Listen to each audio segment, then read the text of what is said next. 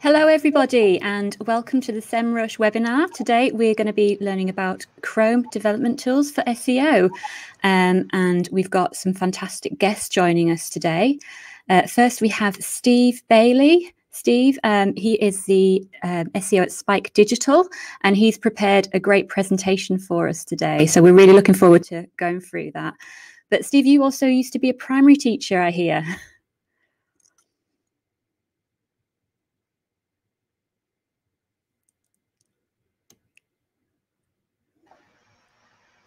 Unmute. Unmute. There you go. first, first technical issue of the day. Um, yes, I used to teach um, seven and eight year olds in a primary school in Leicester. Um, did it for a couple of years, and and that was more than enough for me. Um, thankfully, got out of that profession. And I hear you had quite a famous uh, student who Uh, you yes. showed how to play football. You taught him how to play football. Is that right? Not not in the slightest. Yes, uh, Che Adams, who's a Premier League footballer now, saw him on telly. Thought, is that my Che? Uh, and indeed it was. But yeah, he was a brilliant footballer even from the age of of seven. But I'm woeful at any kind of physical education, so he didn't get any of that from me. Um, and I'm sure they're all probably thankful that I'm I'm no longer teaching. well, you've definitely made a great career for yourself in SEO. um, and I've, I've already seen the slides. I've had a little sneak peek, um, and I'm really, really excited for you to share them with everybody.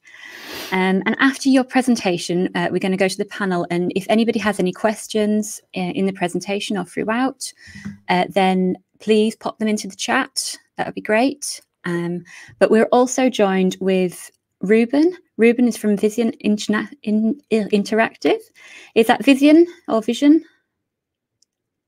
Sorry, you're on mute. Vision Interactive. Yep. Vision. Yeah, um, but you've also got a pretty impressive uh, CV. Worked both client side and agency. Um, worked with you've you're from the UK originally, but now you're all the way over in America. Is that right? That's right. Yeah. So I I uh, went to Staffordshire University, graduated, and then went down to London to work for an ISP. Uh, so that's where I got sort of my technical chops. And then um, I came to the US in 2000 to co-found a travel company. And once I built the website, now you have to figure out how do you get traffic to it. And back then in the dot com days, uh, being a startup, we couldn't buy banner advertising uh, all day and night. So I, I remember I got recommended um, Aaron Wall's SEO book. Uh, yes. Remember that right from back in the day. Yeah. Uh, so I bought that, and uh, that's kind of how I got into SEO. It's just through a need of, um, you know, having to to build traffic. Yeah. And so since then, I've been doing. I sort of specialized in SEO, and I've worked uh, across a number of different companies uh, over the past twenty years now. That's amazing. I think I was a bit the same. I used to build Flash websites and then I wondered why they weren't at the top of the search engine. So uh, that was a big education for myself. Um, also, we have Jerry. And Jerry, you've worked with some amazing brands over the year, uh, but now you're with Rise at Seven as the uh, SEO director. Yep, that's right. Yeah, yep. Yep. Um, but also, um, you know, you've worked with some amazing brands. You've been in the business for 20 years. Can you tell us any more? Yeah, no, absolutely. So I've, I've done everybody from the government right through to, I'm trying to give some good examples. I was actually working for Weight Watchers and McDonald's and Gordon Ramsay all at the same, same At the time. same so I think that you can, I think you can sort of say that, you know, I kind of tackled every kind of angle. Um, went on to government, uh, BBC, some really huge brands like Odeon. In fact, Odeon's one of the Rise at Seven clients. Uh, I'm trying to think of else that we've been kind of working with recently, but uh, yeah, Missguided e-commerce clients, everything everywhere. I've had quite a fun career, I think, over the years. Yeah, I think that's one of the great things about SEO, isn't it? You can work with so many different clients in so many different industries, and uh, it's a really, it's really great experience. I think. Absolutely. Yeah, I, I was a lecturer for a while, but I, I was pretty terrible at it, just over the border from uh, Leicestershire as well, actually in Derbyshire. So done a few bits. Fantastic. Um, so where's everyone from? Um, I'm having a look in the chat. Everybody, oh, we've got someone from India. Hello, someone from Chicago. That's brilliant. Paula Montano, you're from Long Beach. So we've got loads of people all watching. No pressure, Steve. Um, shall we get started? Steve, would you like to uh, go through your presentation for us? Yeah, absolutely. And um, welcome to those from Chicago, uh, home to my Bears. Um, so uh, good, good, to see you on board. Um, let's just set this up.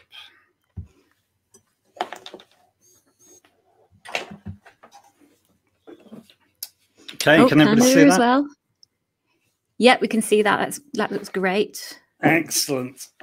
so yeah, today I'm just going to run through Chrome developer tools and how we use them at Spike.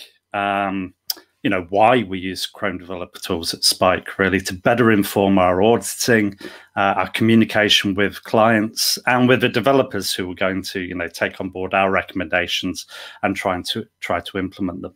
Um, if you have never, well, my uh, clicker is not working, so that's another good start. Let's just use the laptop instead. Hello? Can anybody hear me?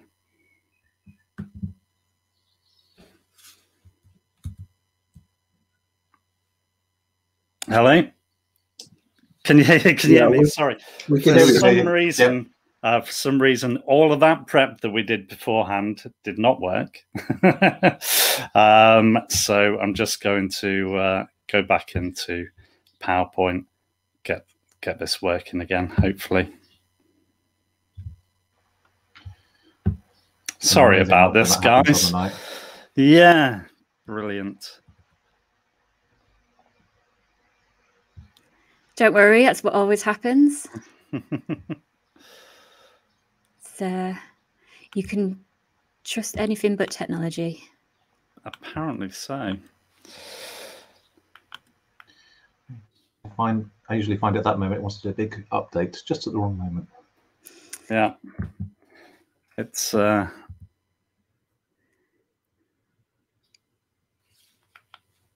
Okay. What? I think is that is that working? Are we on? It is. That looks good to me. Good. That Perfect. Looks great. Excellent. Okay. So um, sorry about that, everybody.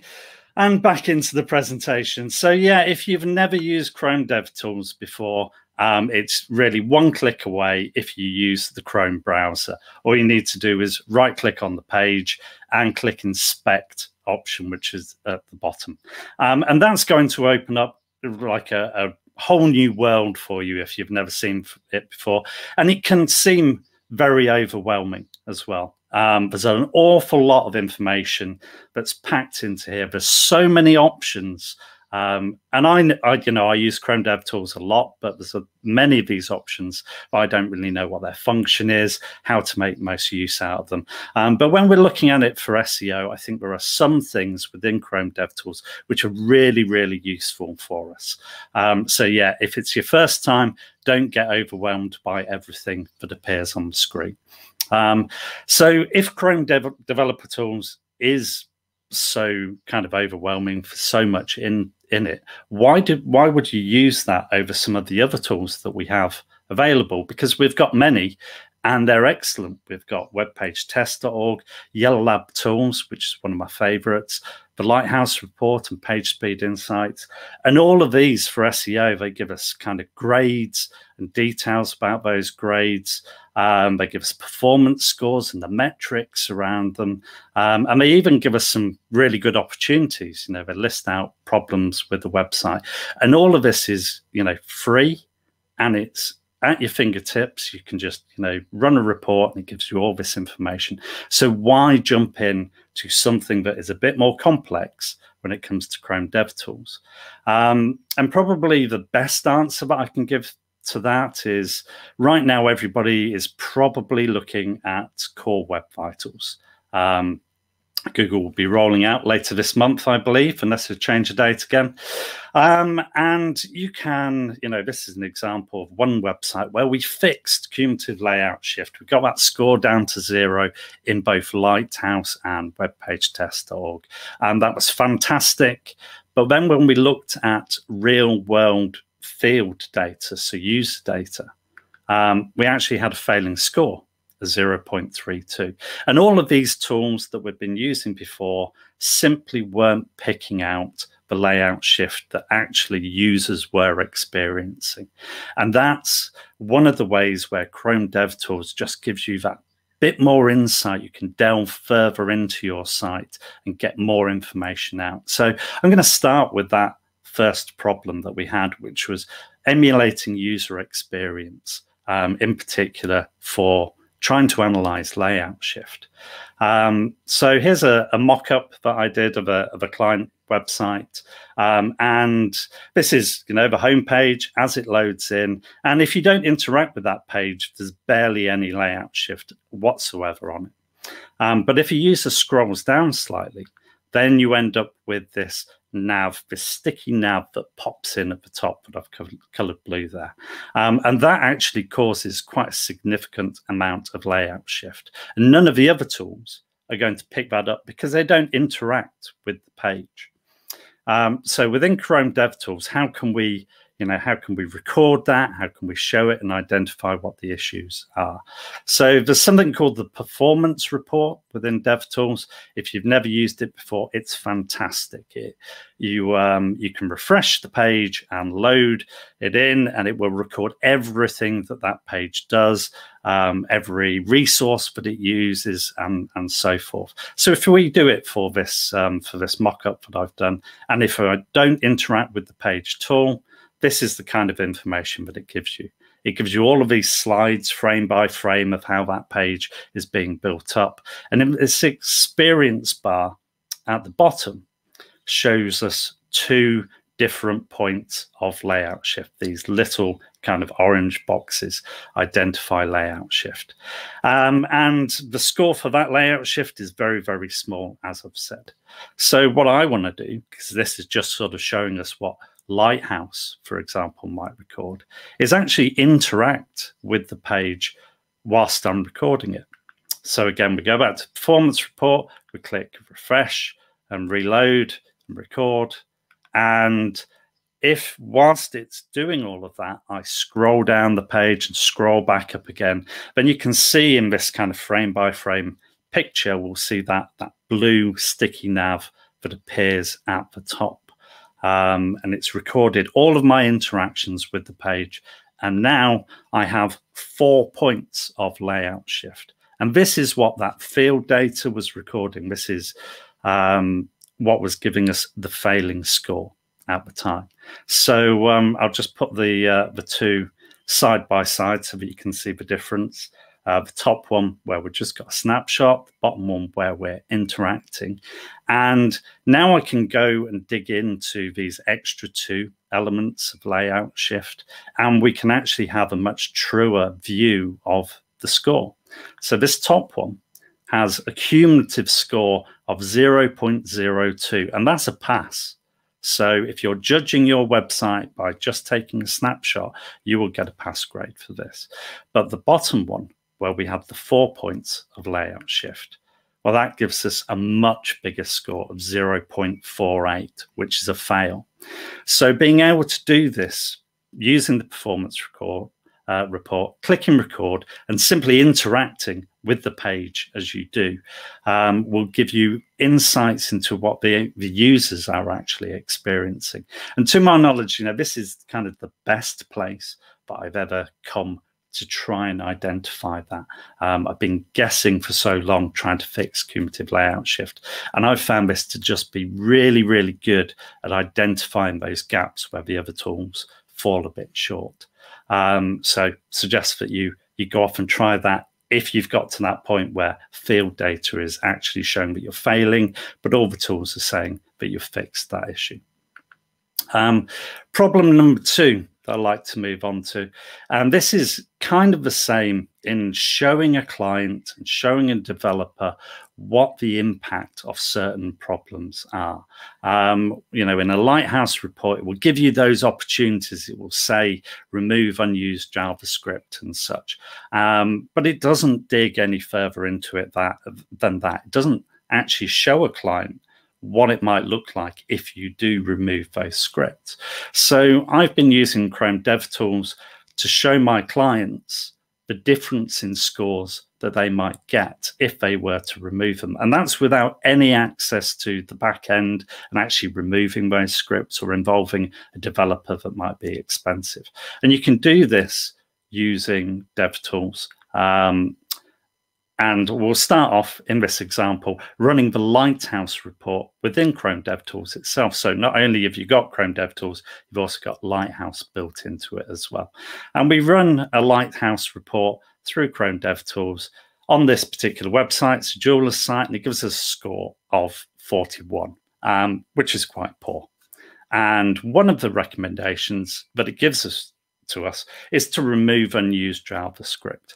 Okay, that's great. And I can say that to the client. Uh, I can highlight this one, and I know that the, the, text on these slides is, is a bit small at times, um, but this is a script that uses the, this message button down at the bottom. Um, so it's kind of a chat messaging script and it's very heavy. Uh, and it comes from zopim.com. And I could say to the client, if you removed that, your performance score may go up. And their natural reaction will be, well, we we we like our message button and the functionality that gives to our users. Um, and we're not actually sure how much of a difference it would make to the performance of our site. So what I really want to do is go to that client and say, okay, I've measured it, and this is the kind of difference that you will see. And we can do that by simply blocking this script from running and rerunning the Lighthouse report. And we do that from an area called the network request blocking, which on my screen is all the way down at the bottom. It may be different in your setup of DevTools. And it's really simple to do. So we know that the script that I was looking at there comes from zopim.com. Uh, we go to network request blocking, um, enable it, click the little add um, symbol, and you get the ability to just write some text in here. And what you're looking for is to write in Zopim. Um, you can use the wildcard either side, so it will collect any subdomains and, and so forth.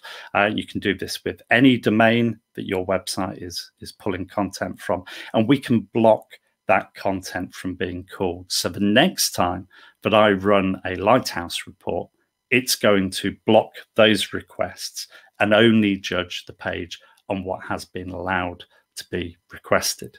So if we go back to the original performance report, so this is with Zopim, we have a score of 41. And when I run that Lighthouse report again and block it, then we get a score of 52.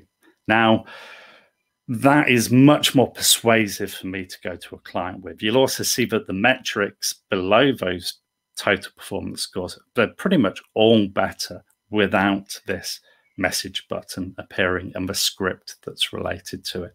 Um, it may not be enough of an argument for them to remove it, but it certainly highlights the argument to maybe find a lighter script or a different way to implement the script. Because going from 41 to 52 in a score that's out of 100 is very, very significant. So I found this really useful without any you know without getting any dev involved or permissions to change things within tag manager and so on i can just run this on my own device and get a better score out and then show the client what it might mean to them. Moving on to my third problem and this is probably my favorite part of chrome dev tools is the ability to test your recommendations. So at Spike, what I like to do when I'm doing an audit is provide recommendations that I know will work. And the only way that I really know that they'll work is if I can test them. So again, with a website that you have no access to, um, you can't just go on and change things. What you can do is use Chrome DevTools and actually take control of a website locally, essentially. Um, so I can take control of, say, a CSS file or a JavaScript file. I can make changes to that and carry on running performance checks, and it will use my changes. And it's it's fantastic. I, I absolutely love it. Um, so here's an example taken from Boots, the chemist, um, and this is a page that's loading in. It's uh, it's one of our article pages, um, and as it loads in, they get some layout shift. I'm using layout shift again because it's it's visual for a webinar. Um, so this is the final um, version of the page. And as you can see, the information here gets pushed all the way down below this image that loads in. Now I know, or I think I know, that I've got a bit of code that I could put into their CSS file that would fix all of this, um, this piece of code here. So I need to, I want to be able to test this. I need to take control of their CSS file, put my code into there, and then reload the page and force it to use my version of the CSS file. And we do this by using something called save overrides. Um, to begin with, we need to start off within sources, and we're looking at the page tab on that. And that will give you a list of every single file that is being called by this page, this page on the Boots website. And I'm looking for this CSS file here because I want to be able to edit it. And all I'm going to do on that, um, that particular file is right click on it and then click Save for Overrides. And that means that I've now got a copy that the rest of this site will use, um, but I can make changes too. So then we move over two tabs into Overrides. I find again the, the, the saved file that I've just made, and then I can add my fix into that and save that version. And now when I refresh the page that I'm looking at, it's going to use my fixes.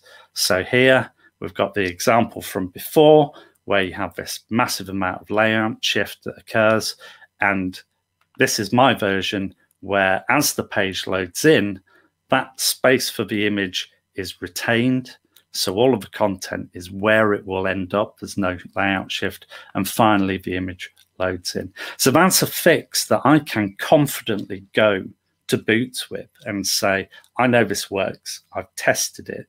It means that I don't just go to their developers and say, can you work out how to fix this? Or here's some options that might work, because that's going to cost them more money. So the better my recommendation and the more confident that I am in that recommendation, then the better for our clients, the better service that we give to our clients, I think in, in that respect, the more value that they get out of us and the less that we back up their dev time with our fixes, making it more likely that they'll actually implement some of the fixes that we give to them. So save overrides, you can take control of absolutely any element of a page, make changes to it, and test your theories out with that. Um, and finally, and this is this is just one that was bugging me for a while. It's visualizing font flicker issues, which are becoming more and more of an issue when it comes to user experience and core web vitals. And it's really difficult to see them because it's a flicker. It happens so quickly. And my problem was just kind of visualizing this to a client so they understood what the problem was. And I looked for various tools and opportunities to do this, and none of them really fitted the bill. So this is just a way really to get a screenshot to show them what it looks like with this font flicker. Um, and so here's an example taken from Ted Baker. We've got the primary font on the left. This is what most people are going to see when it's fully loaded. And on the right, we have the fallback font. So this is the font that will load before that, that the website is loaded the primary font. So fallback fonts tend to be ones that are already locally stored on somebody's system, you know, common Windows fonts. And you can see here that the two are very different in size. You can look at that top navigation where it's much more clustered up on the right hand side and the text below it is, you know, it's kind of all out sort. So what Ted Baker really should be doing here is finding a fallback font that is much closer in size and shape than this particular one. Um, and so this this is just an example of how you can get screenshots like this. And what we're looking at is the elements section within DevTools. Um, and again, it's really small on, excuse me, on the screen. But these kind of double A icons um, are kind of font controllers within the style section. And all you need to do is click on one of those and it opens up this font selector. And then at the top here with font family, simply change the font family from the primary font to the fallback font. And then that will update everything on your screen to show you what people might see as the page loads. Um, and it just saved me so much time when trying to explain to a client what the problem was that I thought I'd include it in this. Um, so that's kind of just a run through of some of the things that I work with um, when it comes to Chrome Developer Tools. Some of the ways that I found it a lot easier, I guess, to explain to a client what the problem is or give them better recommendations um, to move forwards with. So thank you very much for listening. Um, sorry about the technical problems at the beginning. Thank you so much, Steve. That was really good. Um, I think that's one of the most uh, common problems we have is getting developers to to do work for us. Uh, you, you say you implement the changes, so it's a really good way of actually being able to show that and demonstrate that to developers uh, to get rid of any objections, I suppose. And like you say, they're more likely to put it in, and also getting that client buy-in. That's uh, really good. Some really useful tips there. Thank you. So we've had a few questions already. Uh, anybody who does have any more questions, please uh, pop them into the chat. Uh, the first one is from Alexis Priddy. How is the best way to trace what is calling a given script. Uh, so she uses Shopify and she says it's a needle in a haystack trying to determine which app is calling a given uh, JavaScript or CSS query. Is there anybody want to answer that? Who's anybody recommendations? Ooh, um, just from my point of view, absolutely. The amount of times where you find that a script's calling a script, calling a CSS file, and you're trying to figure out where it is coming back again. Um, in the network tab, you can actually see what is actually initiating something. Um, one of the things that surprised me and I didn't realize about the network tab is that the along the top, all the different um, columns, there's actually a load of hidden ones. And if you right click on one of them, you can add extra ones into it. So make sure all the right ones are enabled. Um, and yeah, Steve basically says you can kind of like uh, disable them in the network tab as well, not just the, where, where were you disabling them in the overrides tab? But basically, I was I didn't realize about that because I've always been doing it in the network when we could just right click on one and kind of disable it there. And it, but as you say, basically, it's surprising how nested everything is, and it is, as you say, a needle in a haystack. I don't think there's a simple answer to it, other than the fact that you just start blocking stuff and seeing what is blocking, what's still working, and just carrying on like that. It isn't an easy task, but actually, I've achieved a lot by just kind of like doing that, basically fiddling with stuff and sort of seeing what works. Mm. It's great to have a safe environment to do that, isn't it? Yep, absolutely. Steve, I don't know if you've got a better suggestion. Um, no, not really. But it's it is, um, and I, I imagine that there is one in Chrome DevTools, and that you know it's one of those things that I've I've never possibly really struggled with with that um, it's like things like save override. I only came across that because I was determined that I needed to try and test it to, to get it past the post. Um, so there's possibly you know a blog out there that will will kind of go through it much better. But you can, uh, if you know the script that you're looking for, you can. Um, when you select a file, it will give you the, the whole readout of that JavaScript, for example. So you can search so a quick way of looking would be, you know, if you know precisely what's being called, you could use that string, put it in a search, and if it doesn't find any matches, you know that it's not within that file. So you can then go to a different file. I think there's possibly a way that would would do that much much much quicker. But that's probably what I would default to right now is is you know if it was that hidden away, just try and find out where it's mentioned using that process. The one thing I have found useful is slowing it down. So there's uh, there's the two things within the performance tab that you showed, which is like the network, slow it down and put it on a slow 3G. So you can actually see it building up along almost. And when you've got the network kind of tab coming up, that's another way in which I kind of use it. So basically combining those bits and pieces. I use the network tab a lot more than I use the performance tab in fairness. So it's interesting that you use the performance tab for more. Yeah, I mean, I use I use both. Um, the the performance has really helped me with Core Web Vitals. I think the network is is really good for digging into how things are, are being loaded up. Um, there might be something to do with breakpoints that you could use, um, but that is something that I looked at, got a bit confused over, and walked away from.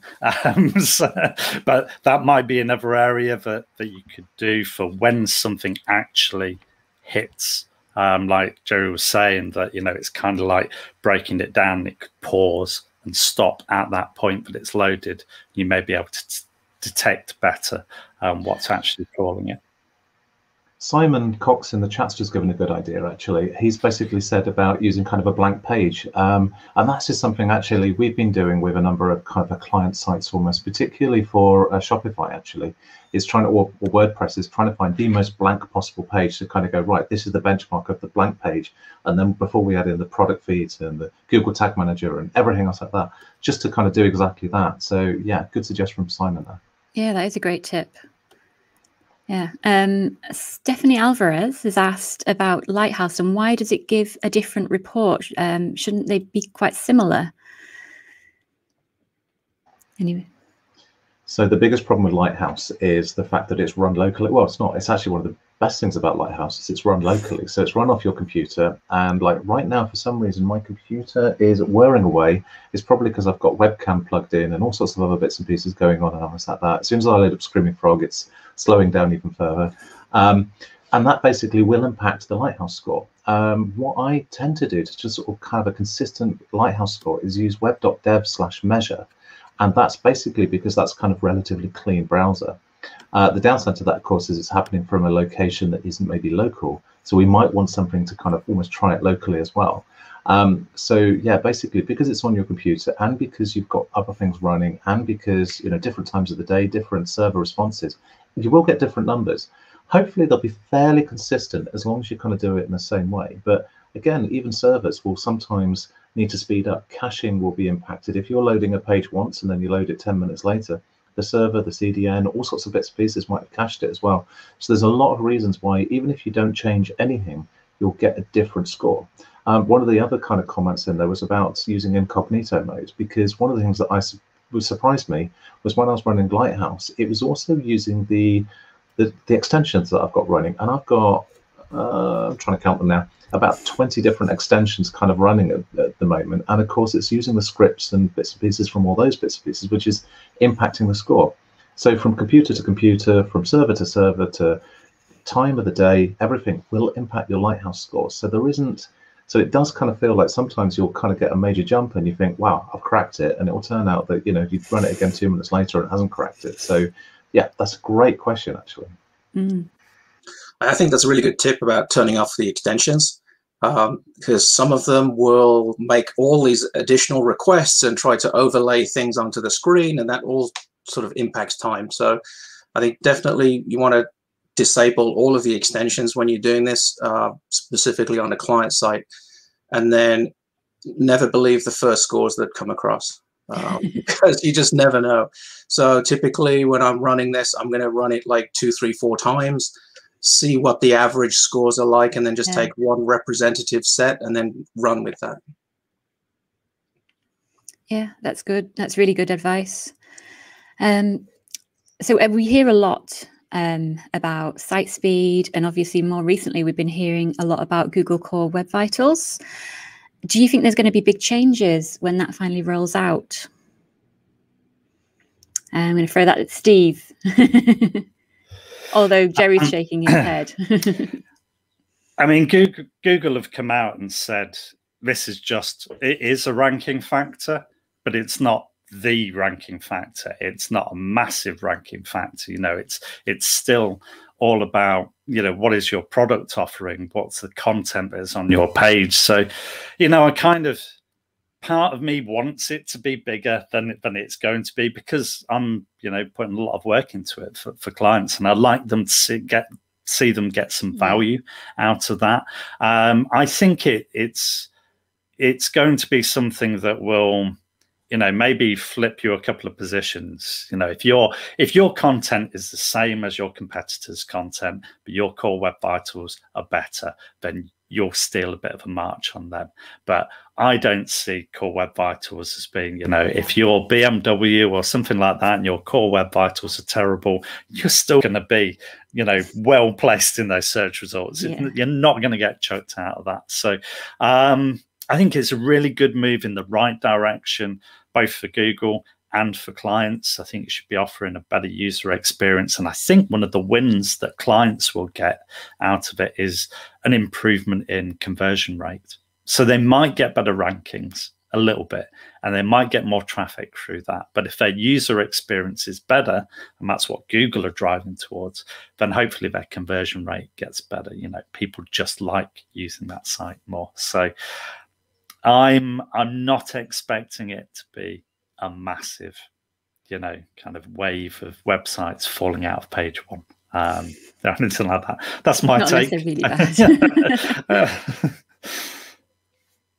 yeah, that's good. Um, I think relevance is always going to be more important than anything else. I think the one time that I think this is going to kind of change the gap a little bit is um, is when you've got like three or four websites all with the same exact e-commerce product. So you know you've got five products the same. They've all got similar H1, similar title tags, similar backlink profile, and you know that's when you kind of have to go right. You know th this is going to maybe impact it that tiny bit. You know, and that's when it's going to be important. Hmm. I think on the, on the flip side, one of the other major benefits of Core Web Vitals uh, and some of the changes, not necessarily in relation to search rankings directly, but now Google has equipped us with a set of actual metrics and baseline figures. Um, so it makes our lives as the SEO practitioners easy to get the client buy-in because now we can say, look, Google says this is the number that you have to hit for to be considered good. Um, Yeah. And we know that a lot of our recommendations don't get implemented uh, for whatever reason. Um, but definitely the, the Core Web Vitals scores being quantifiable now um, allows us to actually put something in front of the client and say, look, Google says this is what the score needs to be to be considered good. Uh, and generally, clients tend to react to favorably to those kinds of recommendations. And I think it will help get a lot more of our recommendations implemented and then make the experience better for everybody. Yeah, I think you're right. It's going to be more about conversion rate and engagement rate and and improving kind of their user experience. You know, we've all come across a website which is just so terrible where you kind of go, this is just not good enough almost. And I've actually witnessed somebody trying to buy from a website and as they were going through it, the, cumulative layouts uh, problem, basically things shifting around, they got so frustrated. They were trying to buy about 150 pounds worth of cosmetics and what else was it? And yeah, basically the whole thing. Um, and it just goes through the, the, the entire process. Actually, most people will end up buying that particular journey, but they won't come back again. They'll prefer a competitor. Yeah. I think it will help uh, when you're having these conversations with clients because I, I know from myself, some of the conversion rate optimization work we do, um, there's always things like, well, we need a chat box, we need the register to sign up, get your discount, and this pop up, pop up, pop up, pop up. And I find it frustrating. And even when you're going through with a client, they're finding it frustration, but they still really, really want it. Um, it's being able to give them a little bit more information that'll give them an, a more informed decision over whether they keep them or whether they drop them. Uh, and actually having the stats to back that up would be brilliant. So um, we've had another question from Highway One Marketing. Are there any studies that correlate Lighthouse score to any measure of rankings or organic traffic? I think this uh, goes a little bit about what you were saying before. It's it's it's a, a factor that nudges you rather than it being a, a massive impact. So Martin Splitt from Google did recently say uh, a comment basically where he said that a number of sites have jumped up in rankings because of not just because the new May June update, but because of historical ones where Google kind of said actually we do prefer faster sites. So there's always been a bit of a ranking boost, and if you do sort out your website going from really not very good at I was going to swear that really not very good at all to actually pretty good now you will see you can see an improvement basically in your organic uh, organic rankings traffic and other bits and pieces so there has been correlation but most of the studies that i've seen have very much been focused on the user impact rather than the organic impact so far unless your website's terrible that said when this rollout comes out i'm really looking forward to kind of comparing um, visibility and semrush is that how pronounce it yes semrush or uh, or, or whichever tool it is, basically with with kind of a, a lighthouse type score thing to sort of see if there's kind of an impact. There are a few websites where I've sort of said, you know, this website's bad, it'll probably drop. And I, I, this is what I'm kind of hoping to see almost, but I don't think there's going to be much of a flux. But it's a really good question. I think that's something that will be interesting. Not so much as there a correlation now, but will there be a, a shift almost? Will that when this update hits, will we see slow ones drop and fast ones speed up? How much of a shift will that be? Hmm. And also being able to actually attribute it to that rather than is it correlation or causation sort of thing. Um, so another question from Hansa Altaf.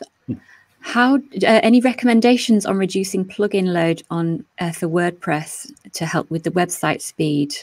I know I've got a lot of clients who've got so many plugins, and uh, it does really drag their site. Has anybody got any recommendations? So, well, I'm not on mute. Um, so maybe I should get. I, I, I, think you know it, it is a, a, big problem, and they can get very much out of hand. Um, and this is, I mean, it's almost a case of you get what you pay for, isn't it? Um, if you have in-house dev, you don't need to use these plugins, and they can design it just for you. Um, then it's then it's great. But if you're using WordPress and you think, well, I'll have this plugin for redirects, and this plugin for something else, and this plugin for chat, and you can't then go to them and, and get them to to change change that code. Um, I think you know a suite of plugins. There are there are some out there for WordPress that do a lot, so you, you at least know that they those plugins work together well. Um, and some of them do have kind of request developer time and, and things like that. So you can say, oh, could you do this? And they might build it into a future version. Um, but otherwise, one thing that I would recommend if you've got lots and lots of plugins is just have a look. Do I need to run these on every single page? You know, do do you need that pop up, that interstitial coming in on every single page? No, you don't. So can you just narrow it down so it only appears on one where you're more likely to capture the information that you want? Do you need chat appearing on every single page? Dear God, no, you don't. you know, it's like, please, you know, be a bit more restrictive about where yeah. you use these things. Can be, um, and yeah, a way around it, or just you know, draw the line and say, well, we're not going to have any more. Um, that would be my my my reaction. That's usually what I say. I'm always like, can we just develop you something some functionality in there, but it's not always possible for everybody. It's not always possible yeah. for every budget. Uh, do you think these plugins and these chat boxes, bots um, are going to really affect a, a site's search visibility when it all kicks in? One of the things I would say on that one is it depends how it's loaded. Um, you don't have to load everything when the page loads. You can load it into the page. I mean, we've been doing a lot of work using Google Tag Manager to basically say, page loads, then you could load other stuff into it. Um, the worst thing I've seen is YouTube and Google Maps. I mean, Google seems to be the worst at slowing down everyone's websites, which is highly ironic. Um, but basically, yeah, Google Maps and YouTube and all these things are very heavy. So lazy loading, all those kind of things. And as Steve was kind of showing the thing, if you can demonstrate the page loads up without these scripts and everything like that loaded up in the yeah. first thing, then you can almost kind of go, okay, we're going to delay these things. We're going to defer them. We're going to make sure that they load up later rather than right at the start, which is kind of often the opportunity to really speed things up for the user. You know, these metrics are important, but the but the usability of the site is more important. And as you've we've sort of talked about first input delay, we want to get the site usable far faster, and then we can kind of load in the chat box and everything else like that, as long as it doesn't impact uh, CLS, which is the cumulative layout shift. So, yeah, so many acronyms. We're all about the acronyms, SEO. Um, uh, back, back, to that WordPress plugin. Uh, oh, just yeah, one, one uh, question uh, that we had previously. One little tip that uh, I've had to deal with um, around this is in a staging environment, if the client has a ton of WordPress plugins, then try to consolidate them because quite often, as the site ages over time, there's a new need for a new plugin. And so, you know, over the course of however many years, there's maybe you know 15 20 different plugins that are used.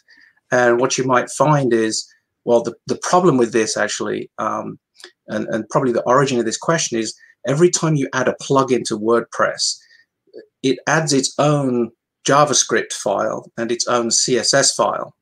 And so if you have 20 plugins you potentially have 20 custom javascript files and 20 custom css files and that all adds to uh, the resources needed to download and process to, to the payload and, and, processing time. So what you might find is take a take a look and see if there's uh, a new version of a plugin that can consolidate some of those functions into one.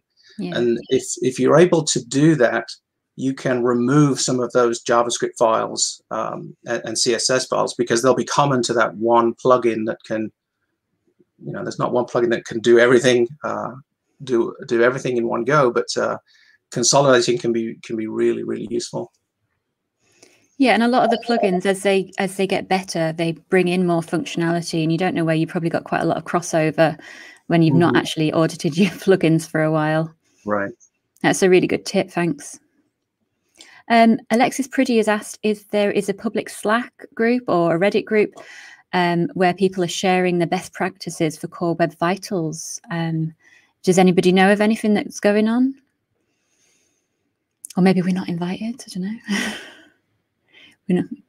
It does sound like it would be a good idea because there's, there's so much functionality that even like I use them pretty much every day, but you know I'm still learning. There's so much I don't know, um, and so many new features are coming out.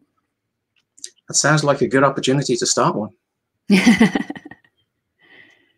Alexis, do you want to start that for us and we'll join?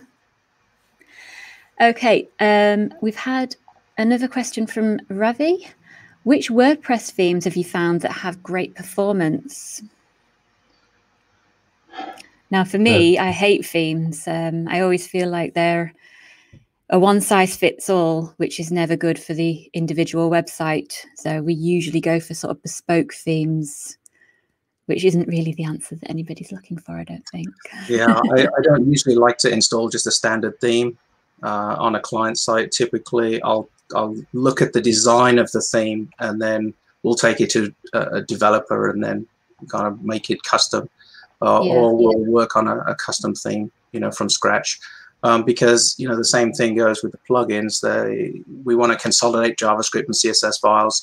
We want to um, make it custom for the client, and quite often there's um, a lot of these themes will use uh, frameworks for CSS, and in the resulting site, a lot of that is unused. Whether it's like form, uh, you know, form validation scripts and um, you know, HTML layout, font alternatives. Um, there's all kinds of different unused bits and pieces in these themes. And, uh, you know, by having a custom theme, we're able to strip all of that out. Which actually you can do in Chrome DevTools too. You can identify um, the unused CSS. So if you open the, the Chrome DevTools, go into Sources, and then go, uh, if you do Control Shift P, and then type in coverage, uh, and then there's a little option that pops up called Show Coverage. It'll actually list all of your CSS and uh, JavaScript files, and it'll show you the percentage of usage of each one of those individual files. And then in the window above, you can actually see line by line all of the code and it'll uh, flag it, like mark those lines in red, which ones are unused. Uh, so that, that was a, a, little tip there. That's a great tip. So, uh, so somebody can find a theme that closest matches uh, what they need, um, and then go through that and try and remove as much of the unused JavaScript as they can to speed up the site, essentially, or yep. make it just a much better site for users, search engines. And if, if that's too technical, because um, a lot of people just don't have that capability and that knowledge and skill, um, there are some other online tools as well. Uh, so there's unused CSS and unused JavaScript. So you can point your website at those tools. They'll basically download the page, the URL that it gives you, um, and then it will do that analysis for you. And it will then give you a CSS file that you can download, which is the, it's only going to contain the elements that are being used. That's good. Um, so Ernesto Augustin Lara, sorry if I pronounced that slightly wrong. Um, would you recommend using AMP strictly in WordPress for web vitals and speed? It's going away. uh, yeah, I, I, I, don't know. And, what is the future of AMP? yeah, would you like to take that? Core Web Vitals is essentially, um, you know, Google's way of trying to persuade people to speed up their websites because I don't think the adoption of AMP was high enough. Um, so I would not just rely on AMP. Um, the other problem with AMP is because of its restrictive framework, a lot of clients, they need those chatbots, they need those messaging tools, they need all of these third-party scripts, which you can't have um, in AMP. So I would, I would not rely on AMP 100%. I think AMP as a framework is a great idea if you can develop your site completely in AMP and you can enhance it beyond the kind of the core AMP. So instead of using something like jQuery or using something like um, you know one of these other JavaScript frameworks, it's great. Um, but the whole the CDN, the kind of cached version of it, and things like that, the, the whole concept behind that. The problem with that, from my point of view, is the fact that we would get clients who would be developing two sets of code, trying to maintain it, that actually neglect one of them, and you know, after about six months, eight months, suddenly you discover that they weren't actually tracking it because they hadn't put the right, the new version of analytics on it or something similar. And we were trying to figure out why they were losing so much traffic to kind of websites that, sorry, web pages. And it was like, ah, okay, you've actually not got your analytics code on that particular set of pages. So we're not tracking anywhere near as much organic traffic as we thought, traffic as we thought. So yeah, I'm very much a guy that will say to a client, do not implement AMP unless you're starting a brand new website and you want to kind of code it all up completely in AMP. And I think that's a great opportunity.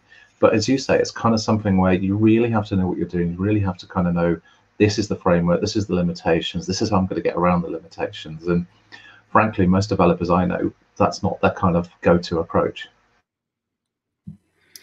Yeah, I think with with AMP, we've we've got a couple of clients um, that we work with that are very much in the the news you know, sporting news, things like that.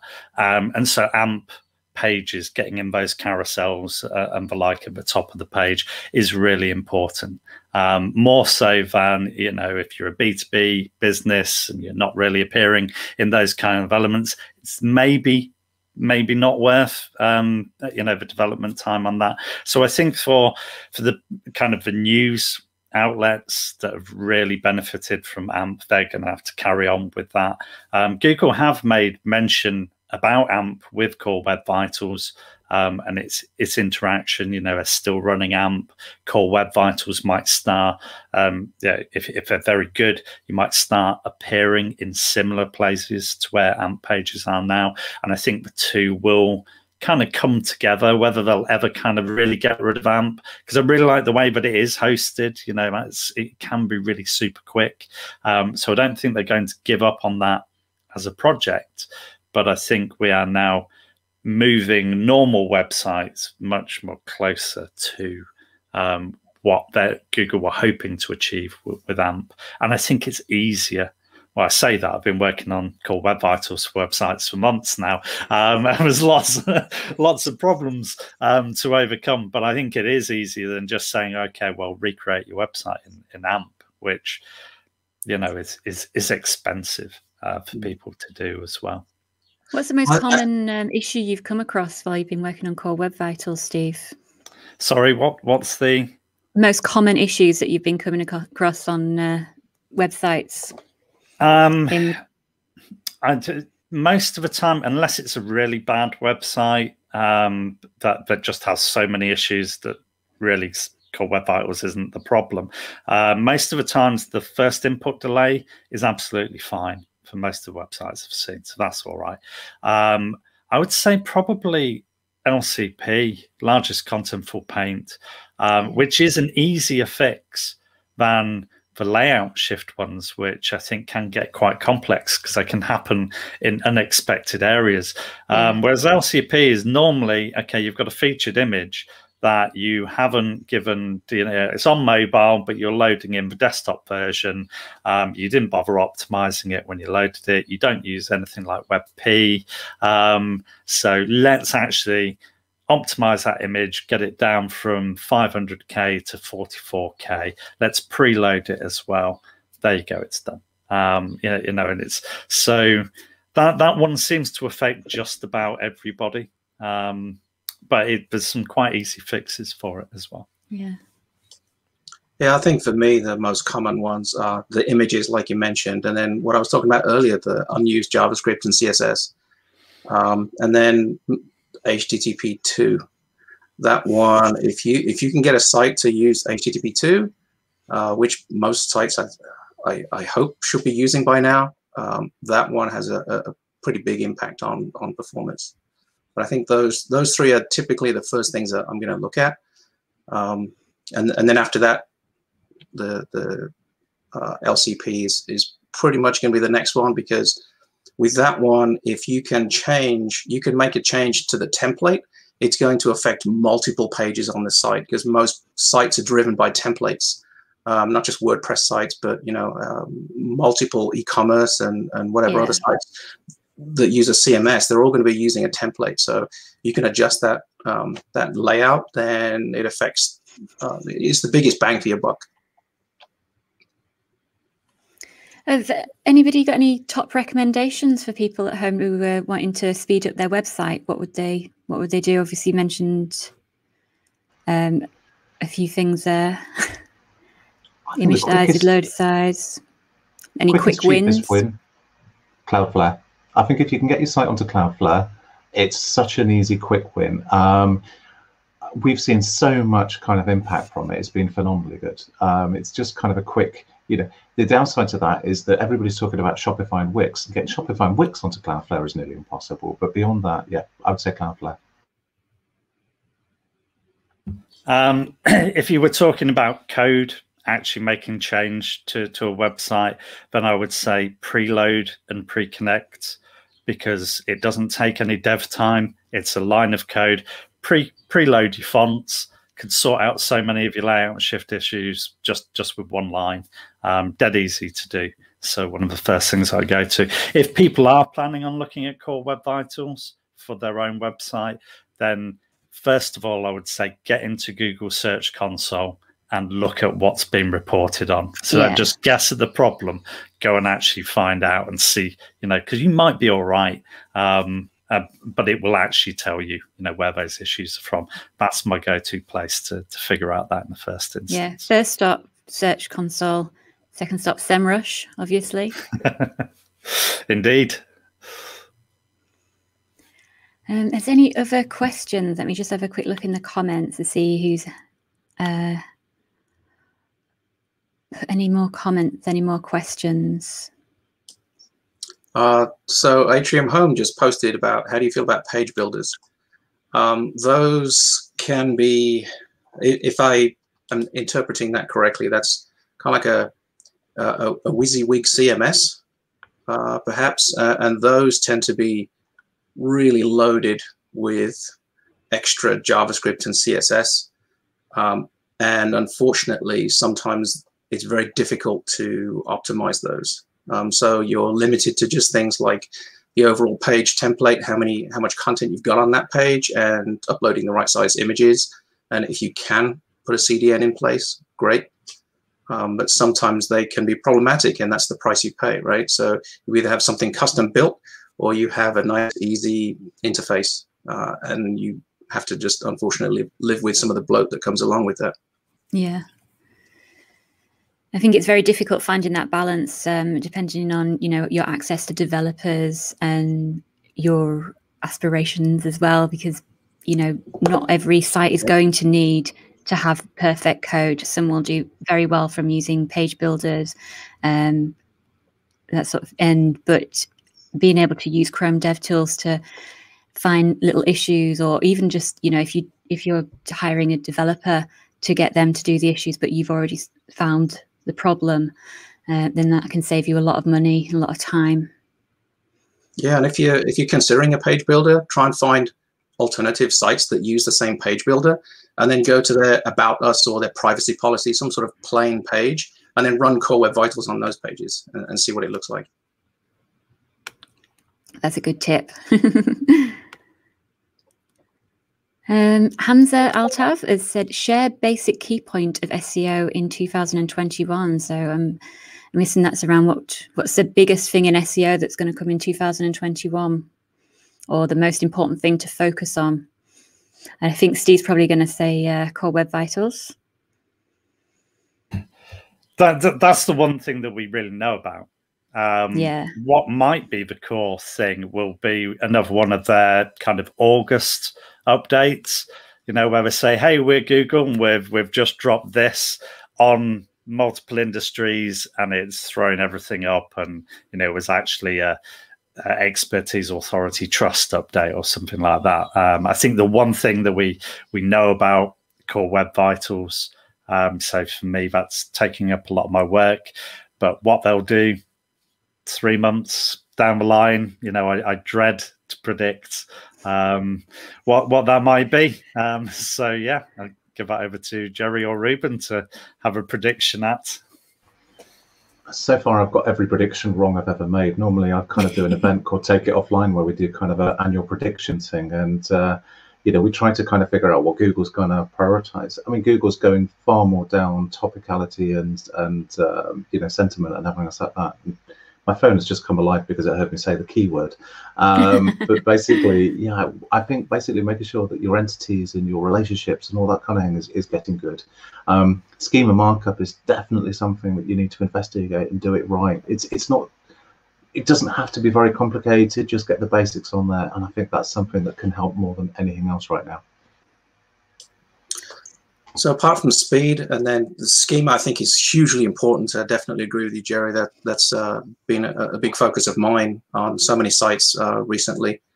Um, but if you think about the past few updates that Google's made, some of the big ones, they've all all been around trust.